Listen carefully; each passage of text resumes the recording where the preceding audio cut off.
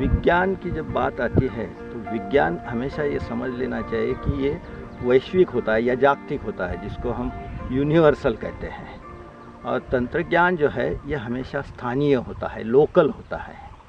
अच्छे अच्छे विज्ञान पढ़ने वाले विद्यार्थियों को भी मैंने देखा, वो विज्ञान को ही तंत्र ज्ञान कहते हैं और तंत्र ज्ञान को ही विज्ञान कहते हैं। दो हाइड्रोजन और एक ऑक्सीजन लेके दुनिया में कहीं पे भी जाएँगे आप तो उसका पानी ही बनेगा। ये मूलभूत विज्ञान है।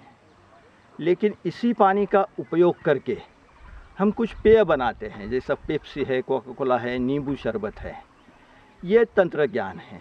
लेकिन ये फ़र्क जब तक अपने को समझेगा नहीं, तब तब तक हम विज्ञान के नाम पे तंत्र ज्ञान ही आयात करते रहेंगे। और इसी के कारण आज जो खेती की अवस्था हुई है, वो तंत्र ज्ञान आयात करने के कारण हुई है।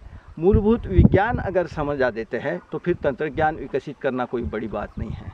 तंत्र ज्ञान के बारे में गांधी ने एक बहुत अच्छी व्याख्या की है।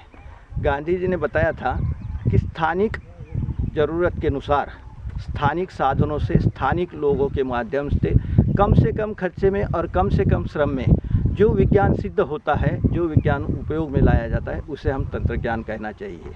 लेकिन आजकल हम देखते हैं कि जितना ज़्यादा तोड़फोड़ हो, जितना बाहर से लाया जाए, जितना ज़्यादा खर्चा किया जाए, वो ज़्यादा अच्छा तंत्र ज्ञान माना जाता है। जबकि ये गलत है, ऐसा मेरा कहना है। अभी यहाँ हम लोग जो आए हैं मेघालय में, यहाँ पे भी अगर मूल मूलभूत विज्ञान का उपयोग करके हम यहाँ के लिए तंत्र ज्ञान विकसित करेंगे तो वो ज़्यादा काम की चीज़ होगी। न कि इस मेघालय के एरिया में कोई बाकी हमारे देश की परिस्थिति में को देखते हुए यहाँ की परिस्थिति एकदम ही अलग है।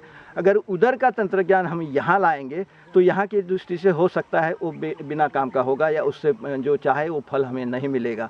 इसलिए यहाँ की मेघालय की परिस्थिति को देखकर ही हमें यहाँ के साधन, यहाँ का मनुष्य शक्ति का वापर, यहाँ के लोगों की आकलन शक्ति, इसको सबको ध्यान में लेकर ही हमें यहाँ तंत्र ज्ञान विकसित करना चाहिए। तो ही कृषि के दृष्टि से कृषि के लिए यहाँ का आ, हम विकास कर पाएँगे। अन्यथा बाहर से अगर हम तंत्र ज्ञान लाएँगे तो वो खर्चा भी होगा और हो सकता है वो यहाँ के परिप्रेक्ष्य में काम का भी नहीं होगा। यहाँ के विकास के दृष्टि से जो पौधे बाहर से भले ही लाए हो लेकिन यहाँ के परिस्थिति में हम डाल सकते हैं और यहाँ के लोगों के माध्यम से उसको अगर हम विकसित कर सकते हैं तो वो आगे चल के वो लोग आसानी से उसकी खेती कर पाएँगे। इसलिए यहाँ का और बाहर का ये फ़र्क नहीं करते हुए यहाँ जो पनप सकता है और कम से कम खर्चे में कम सादे से तंत्र ज्ञान का उपयोग करके वो अगर पन पाते हैं तो वो फिर यहाँ के विकास के लिए काम का होगा ऐसा मुझे लगता है। इसलिए ये फ़र्क मैं नहीं करता हूँ कि यहाँ का ही करना चाहिए, बाहर का ही करना चाहिए।